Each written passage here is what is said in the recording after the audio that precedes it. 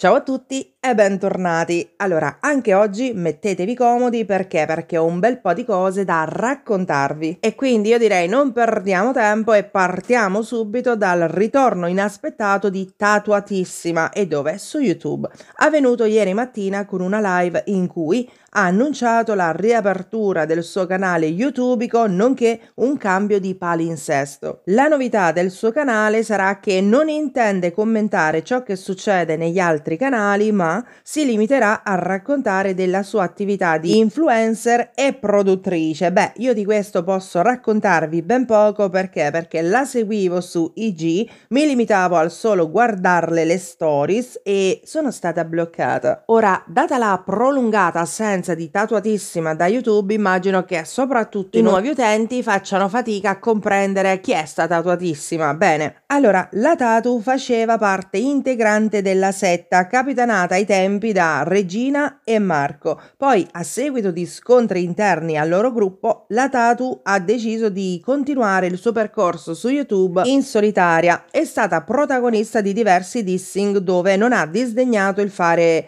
minacce anche abbastanza pesanti, tipo sciogliere nell'acido, eccetera, eccetera, eccetera. E poi ancora con Beatrix, battibecco partito da Facebook e sbarcato poi infelicemente su YouTube. E infine quello più recente con Barbara Labidi, dove prima si era mostrata propensa a realizzare dei mini video socialmente utili e poi non si sa perché si è ritratta, suscitando così il dissenso di Barbara che si vide costretta ad aprire live su live dove raccontò dritto e rovescio dell'intera faccenda. Ovviamente questa vuole essere solo una leggera infarinatura di quella che è stata tatuatissima personaggio perché a raccontare tutto praticamente non bastavano 15 riassuntoni e lo scopo oggi era solo di aggiornare l'utenza sul fatto che è tornata. Bene, e adesso passiamo ad un altro personaggio. Andiamo a parlare di Fate, alla quale innanzitutto dico un sentito grazie per il fatto che si affida a quelli che sono i miei riassunti e ne fa menzione pubblicamente e sentire elogiare la genuinità del proprio lavoro fa sempre piacere. Bene, e adesso passiamo a quella che è stata la sua live, quella di ieri, dal titolo Rispondo a Damanera e faccia i poccu, che parte col sottolineare quanto sia disagiata la sorianese che, con un procedimento legale in corso, al quale sistematicamente non si presenta, continua a reiterare lo stesso reato, dando di pantofolo a destra e a minchia. Poi Fate fa un breve riassunto su come è iniziato questo botta e risposta con la medium più chiacchierata di Soriano City, delle accuse ricevute a gratis e così via, per passare poi con estrema delicatezza a descrivere Culogero. Allora, qui massima attenzione. Un omuncolo che si gingilla su Telegram e con cosa? Con le foto delle donnine a seno nudo? E non disdegna neanche gli incontri con la disperata di turno. Roba che la stessa dama l'ha beccato più volte e quindi sa bene che ha vicino un uomo di cui vantarsi ben poco. Madonna che schifo. Una bella coppia composta da lei che entra ed esce di galera e il compagno che, che fa le cose porcellose. Restando nel discorso facci poco... Oh, ops Culogero, di cui la dama ne vanta tanto le doti, ma poi lei per prima non gli fa mai finire un discorso, perché deve salutare gli utenti, deve rispondere ai commenti, deve controllare che non ci siano dei troll che le dicano che assomiglia a un uomo. Nel frattempo, sottolinea in chat la dama bianca che non è da reputare neanche come coppia di fatto, dato che lui non ha mai divorziato da sua moglie, sebbene poi conviva con la dama da oltre 15 anni. E sono stati tantissimi gli utenti utenti che si sono chiesti come mai quest'uomo, sebbene conviva con, con la dama da oltre 15 anni, non vada poi a richiedere il divorzio a sua moglie per finalizzare questa sua attuale unione. Che poi a sentir lei questi stanno un giorno sì e l'altro pure o in caserma dai carabinieri o dagli avvocati. Dice vabbè ma lì è un discorso diverso, lì ci vanno per fare le denunce a tutta YouTube e, e ci avete ragione. E poi Fate affronta il discorso chiamata in caserma per la dama e racconta che Marco, stufo di sentirsi nominare continuamente,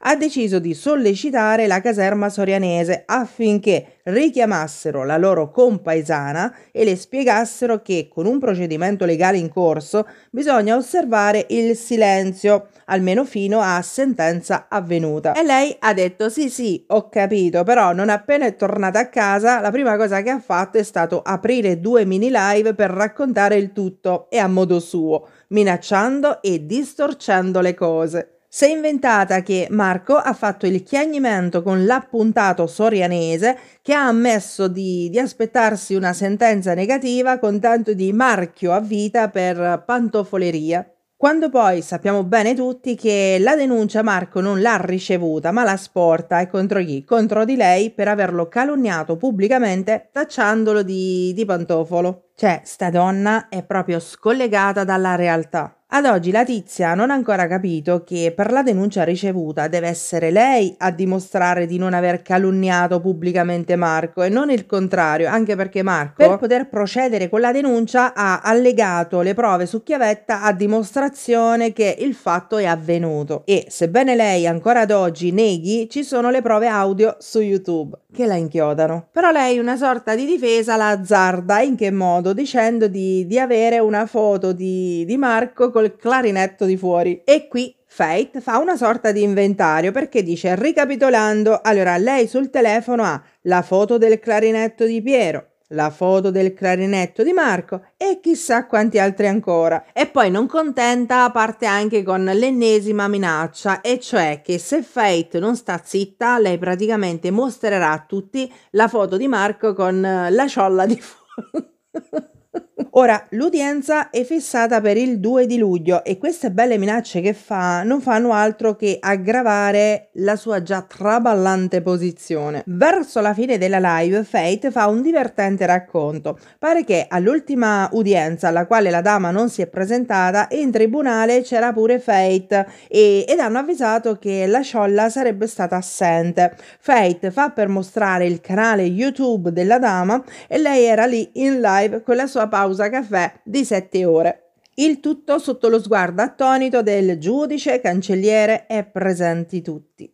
Quindi il mio consiglio per voi è segnatevi questa data, cioè il 2 di luglio, perché? Perché è un processo a porte aperte e ne vedremo delle belle. E concludiamo questo riassuntone di oggi parlando di Baraya che giusto ieri sera si è prodotto in un video dove chiarisce la sua posizione su YouTube per la quale si sente di non dover dare spiegazioni se frequenta questo o quell'altro canale o se decide di entrare in qualche hangout per dare quella che è la sua opinione. Un qualcosa che proprio Baraya non sopporta è il fatto che quando non possono attaccare lui direttamente, attaccano chi gli sta vicino. E andiamo subito al punto, e cioè a quello che è successo. Allora, lui era in hangout da Ali e alcuni utenti che lui identifica come utenti di Cassandra hanno preso a fargli delle domande, domande a cui lui candidamente ha risposto. Poi il Baraya rispolvera l'avviso di Cassandra nei confronti di Sandro, per il quale se Sandro Sandro avesse lasciato nominare barra offendere qualche suo familiare,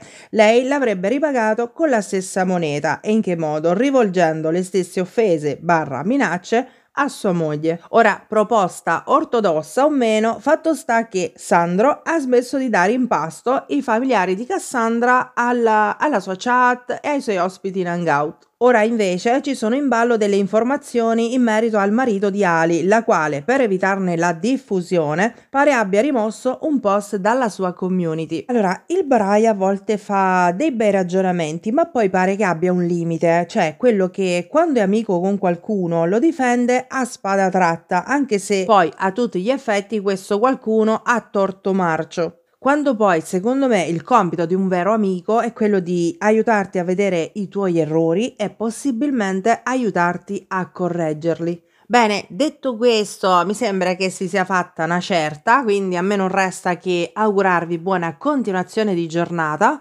invitarvi a seguire quello che sarà il mio prossimo riassuntone, ma nel frattempo che succede tutto questo, un bacio a tutti da Gossip.